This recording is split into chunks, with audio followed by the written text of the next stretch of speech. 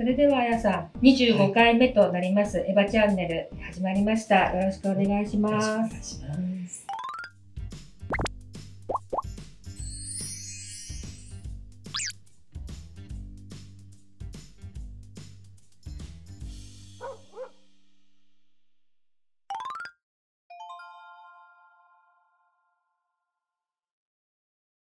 します。5つの自由というね、はい。動物福祉っていうことが、まあ、皆さんに少しずつこう周知され始めてますけれども動物たちがどれぐらいこう快適にね、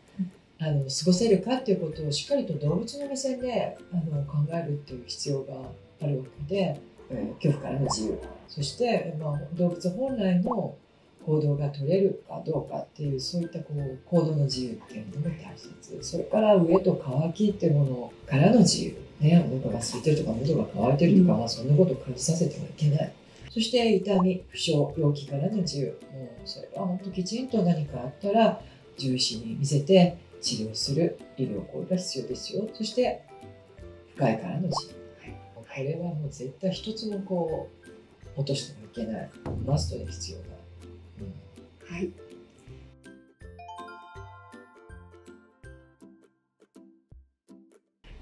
まあ、本当にそういろいろとこう自分のね生活なんかもこうしっかりと想像してみて、えー一緒に暮らしていけるその居住環境が整っているのかっていうことがまず一番大切でで自分のライフスタイルはい。がどうなのか家の中にあのいることが多いのかとか外に出かけるのが好きなのかとか。あと、転勤とかね、引っ越しが多い、ちょっと考えていただくとか、もちろんペット、カーのところがそうそうそうそういうことも含めてね、そして家族の同意ね。これも当たり前の話だけれどもやっぱりみんなで同意して温かく迎えると。はい。そして自分の健康と体力もねはい。まあ、病気がちでね、自分のあのケアも必要なっていう時に。まず自分がしっかりと、あのね自立できてないのに、やっぱり動物のお世話をすることは難しいし。はい。ペットの寿命を考えて、ん。でやっぱり自分の年齢とペットの寿命とね、そこをやっぱり考えて迎えないといけないなとですよね。でまあ長くねペットだってあの小さい時に迎えると猫だってもう今20年生きる時代になってるし、そうですよ犬だっね。てね15年以上元気にいてくれたりするわけなので、まあ、その長い期間しそうっかりと。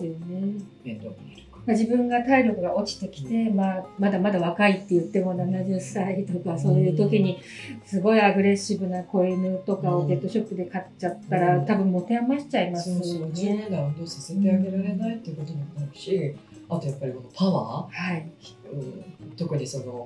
大きなワンちゃんとかだったらすごいパワフルだから、そういったこうパワーバランス自分とのパワーバランスが、ね、取れてるかっていうこともすごい大切ですよね。犬の方がはるかにパワーがこう勝ってたりすると、これはもうとてもじゃないけどコントロールできないってことになっちゃうしあと見とれるかどうかっていうことですよね。自分の年齢に対して。やっぱり基本は見とる。うん。人間がやっぱり動物を見とるっていうことが基本なわけね。もちろんねあの生きてれば何が起こるかわからないっていうことはあるんだけれども、うん。でも基本はやっぱりそういう想定のもとにやっぱり迎えるっていうのが当たり前のことだから。うん。そして周囲への配慮ですよね、うん犬は吠えたりもするし、まあそういうところでしっかりとあのご近所に迷惑がかけかかからないようにコントロールできるかっていう対策ができるかっていうところが大切だし。うんあと猫の場合はねやっぱり室内飼育っていうのを徹底してもらわないと、えあのご近所の方のお庭にね、こう粗相してしまったみたいなことで問題になったりもするだろうし。えお金もかかりますよね。すっごいかかります。ちろんね保険っていうものもあるわけだけど、うんうんもちろん私なんかすごい多頭なので、保険入ってないから全部実費で医療費払うんだけれどもたまに金額が すごい聞くとすごい金額。いやすごいよ本当にわかります。多分そのぐらいになっちゃうんだろうな。すごいよだからもうそのために一つ通帳作ってずっとお金をプールして、はいだからこう医療費きちんと賄えるけどいやもう本当にねそこ考えとかないともう本当に大変なことになる。本当にわかります。もう羽が生えてるように出ていきますもんね。本当に。うんうん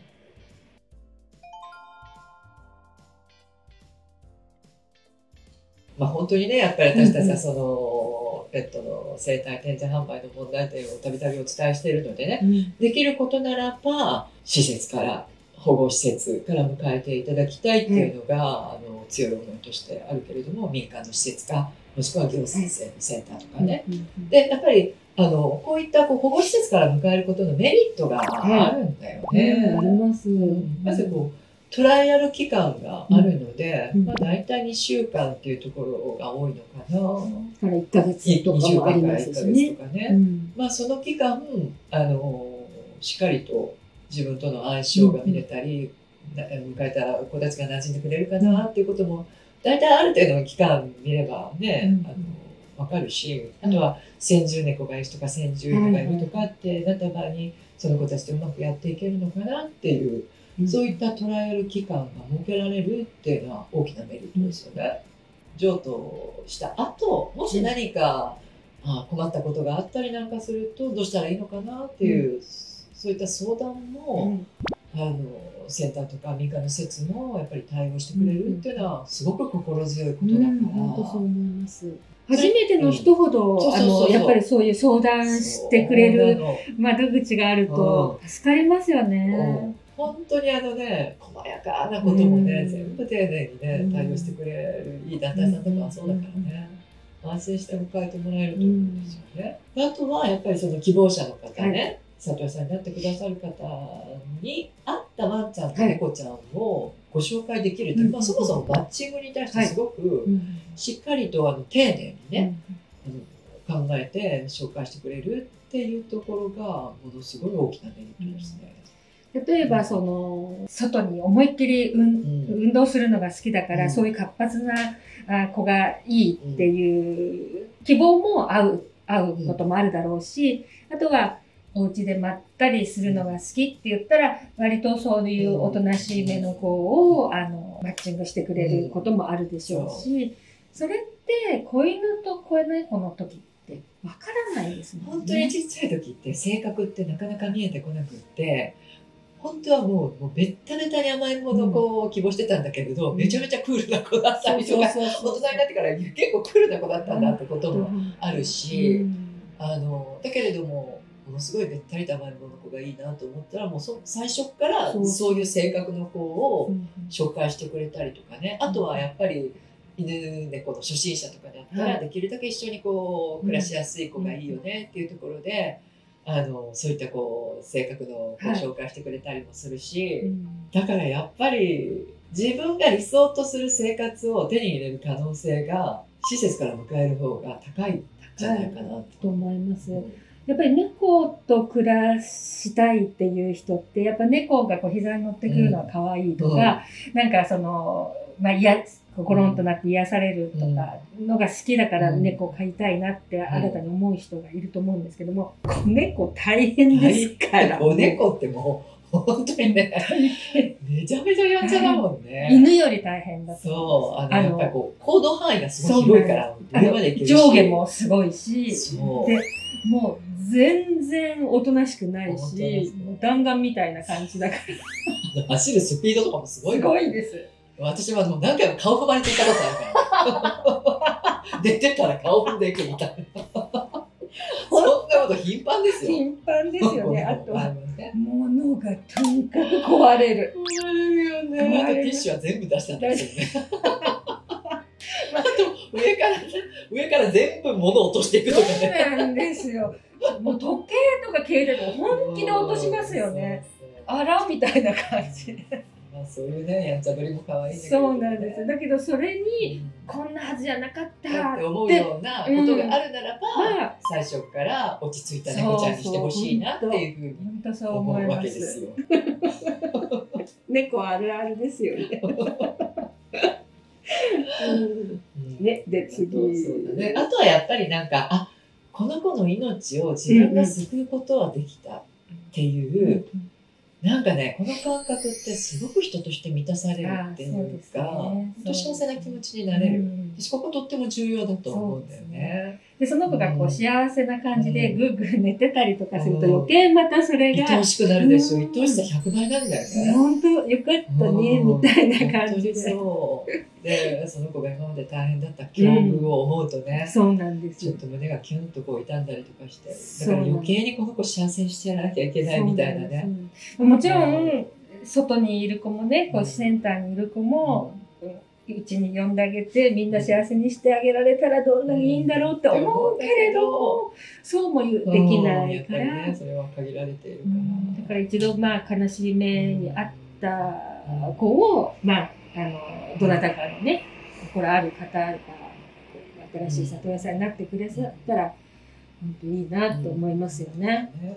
性格だけじゃなくて体格もね、はい。あのまあ、何かこうね犬種がはっきり分かってればいいけどもこう野犬の子供だったりとか、まあ、うん。ミックスだったりとかすると大体どれぐらいの大きさになるか子供の頃分かんないっていう場合も時々あったりとかして、うん。確かに。想像以上に大きくなってしまうとで面倒見るのが大変みたいなことにうん。ならない。あと病歴もわかりますよね。うん。あのセンターとかシェルターの方で健康うん。診断とかもしてますから、うん。まず僕はこういうとこどこがちょっと弱いんですとかっていうのもわかるので、そういったものも踏まえてお迎えすることができるので、やっぱりこう保護犬、保護猫をお迎えしてもらいたいな。私はもう性格が分かるっていうことがすすごいいいことなんじゃないかなっ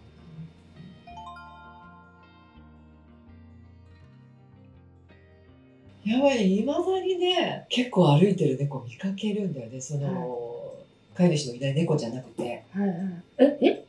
あ、飼い主、のいる猫で外歩いてるっていうのを時々見かける。首輪つけてるとか。首輪つけてないんだけど、耳カットされてなくって、私、あの、気になった時に、たまたまこの間もね、はえらいこう、体格のいい猫ちゃんが歩いてたの。い。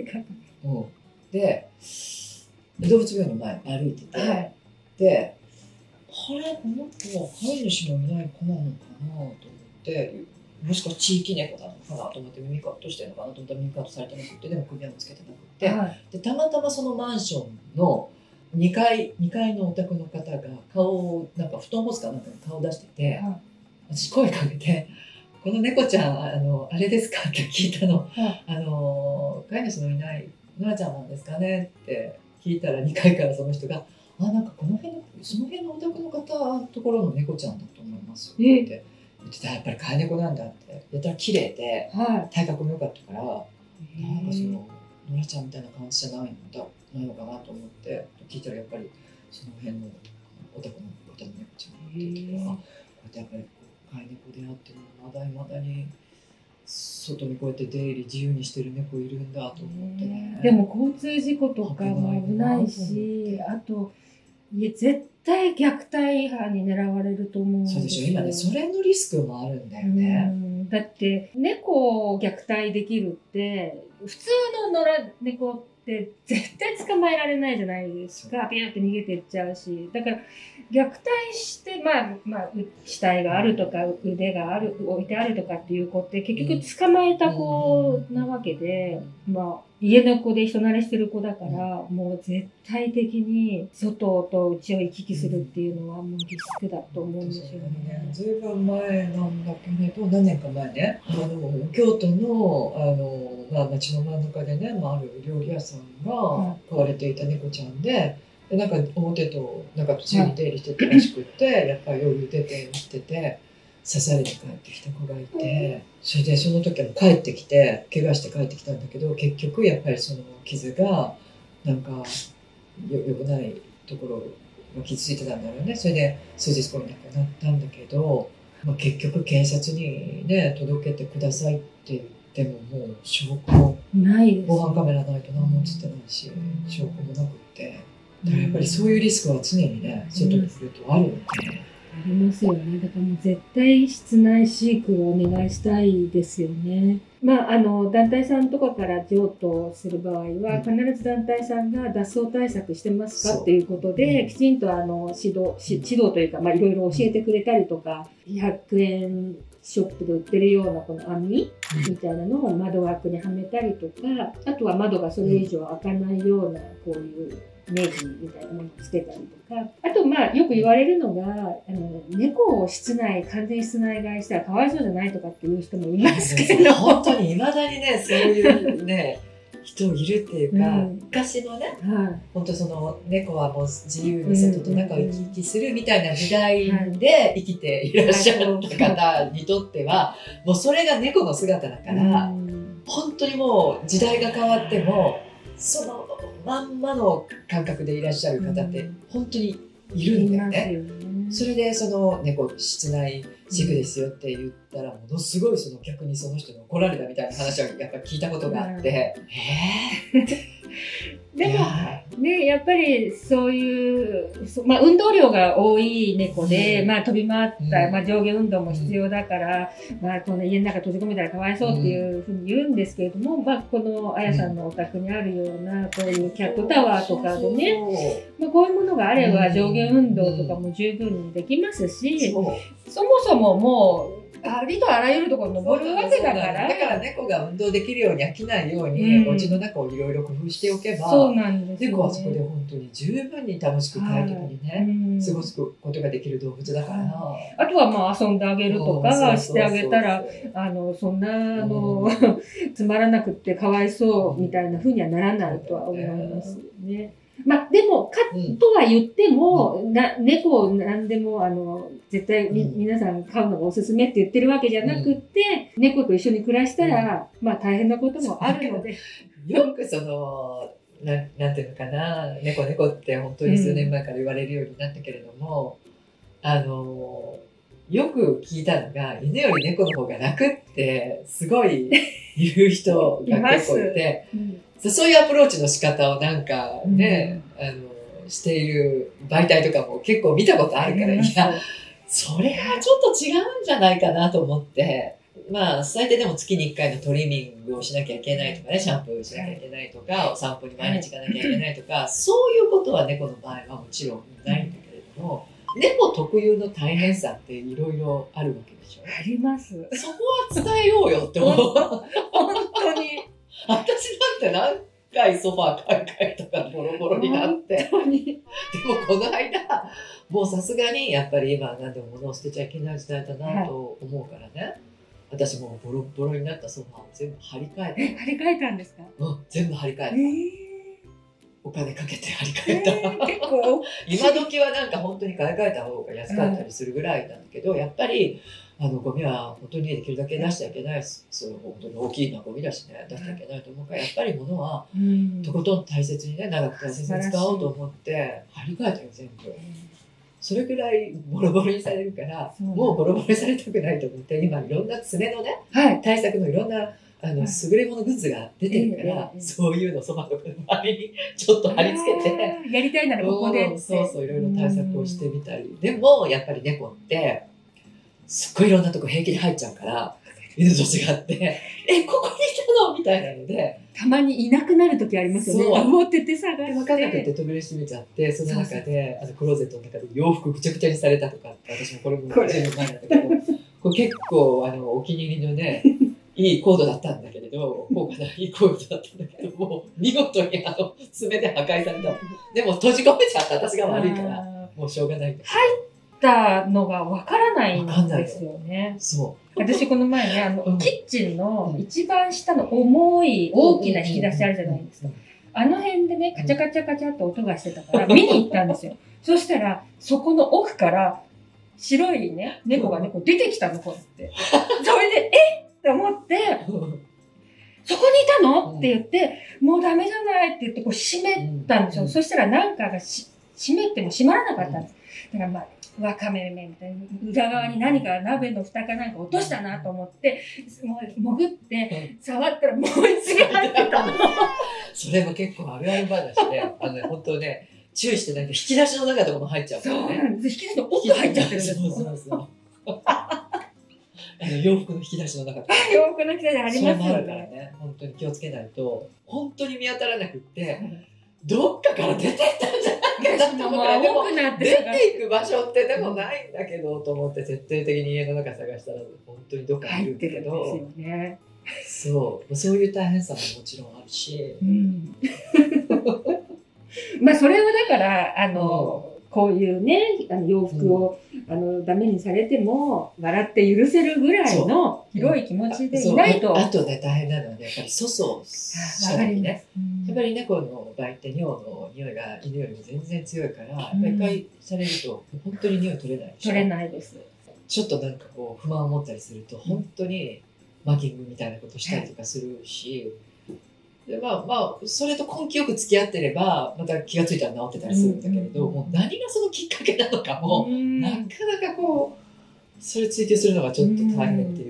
う。か、そうですそう。いう大変さもあるし。犬の場合はあ観察をちゃんとつけて、注射の済み表をちゃんとつけましょうね。プラスマイクロチップもしましょうね。まあ、猫の場合は観察がないので、まあ、マイクロチップつけましょうねということで、万が一の時があっても、自分たちのところにちゃんと戻ってこれるように、それは飼い主が、まあ、ちゃんとやっていきましょうっていうことですね。やっぱり幸いが多いからね、はい特にやっぱりこれをきちんと